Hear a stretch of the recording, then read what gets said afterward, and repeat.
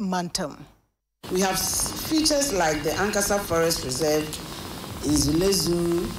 a community built on stilts, the Monkey Hill in Takoradi, and so many are masquerade that come out at the end of every year, which we can organize anytime, anywhere for tourists to enjoy. Aviatour here is therefore to afford that link and networking between aviation to bring the tourists to the western region.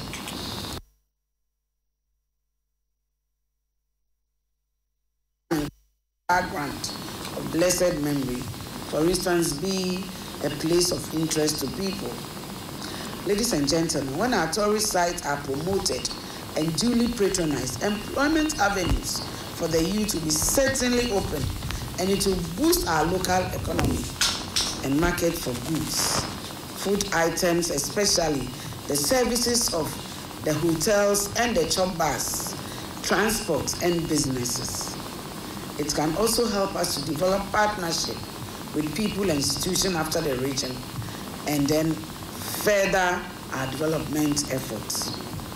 Our friends from the media, we have therefore been invited here to take the message and inform the educated operators and the beneficiaries of the aviation and tourism sectors to join the Western Region